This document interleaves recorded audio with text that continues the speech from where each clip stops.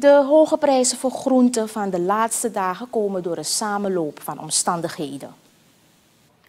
Ganesh Kumar Kandai, voorzitter van de landbouwcoöperatie Quata, zegt dat door de zware regenval in de afgelopen periode veel landbouwgebieden onder water zijn gelopen.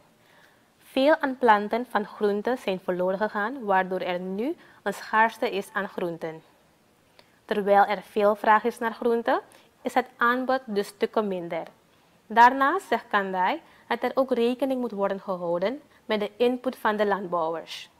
Als je ook kijkt naar de input van de landbouwers, dan wat er nu gebeurt is uh, de input. Ja.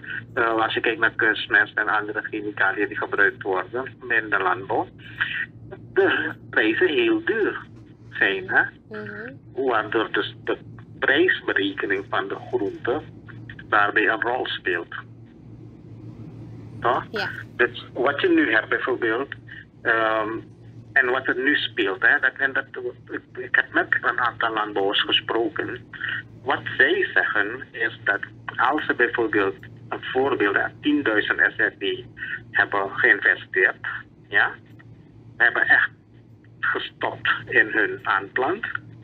En ze hebben, laten we zeggen, 90% van die aanplant is verloren. Ja? En die 10% wat zij hebben overgehouden of kunnen beschermen, toch? En verder hebben kunnen verzorgen. Toch? Met die 10% wat zij nu beschermd hebben, over hebben, proberen de landbouwers de kosten die zij hebben gemaakt, die 10.000 die geïnvesteerd is, toch, terug te verdienen. Kanai legt er nadruk op dat de landbouwers niet proberen te overdrijven met hun prijzen. Het verschil in prijzen komt ook door de opkopers die weder verkopen. De ongelijkheid in prijzen kan Kandai niet verder verklaren. Op dit moment doet de landbouwsector er alles aan om groenten weer betaalbaar te maken. Wat wij doen is, wij zijn een landbouwcoöperatie, toch?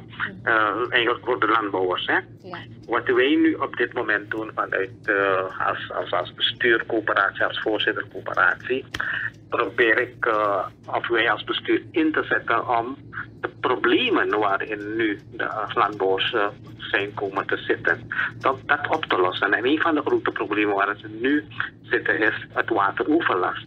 Toch? Mhm. Dus daar wordt er met man en macht met de verschillende ministeries op dit moment, dan is het uh, eh, ROS, OW en RVV, mhm. alles gedaan om het water weg te krijgen. Zodat één, snel dat de landbouwers hun terreinen dus droog komen te leggen, zodat ze snel over kunnen gaan om het uh, opnieuw te planten.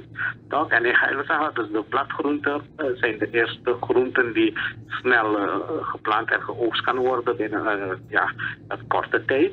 Dus dat is de focus nu op dit moment vanuit de coöperatie, het bestuur alle mogelijkheden samen met de ministeries bekijken om te kijken van hoe wij de gebieden weer een, uh, droog kunnen krijgen. Want kijk, dat is het enige wat we op dit moment kunnen doen. Uh, betaalbaar groente is, is op dit moment, ja, ik zeg niet dat het niet mogelijk is, omdat die groente er niet is in uh, grote getallen, mm-hmm. grote hoeveelheden. Begrijp je? De weinige die er is, ja, daar moet je uh, aan de man kunnen brengen. Ganesh Kumar Kanhai, voorzitter van de landbouwcoöperatie Quata. Om de productie van groenten weer op gang te brengen, moet het probleem van wateroverlast spoedig worden aangepakt.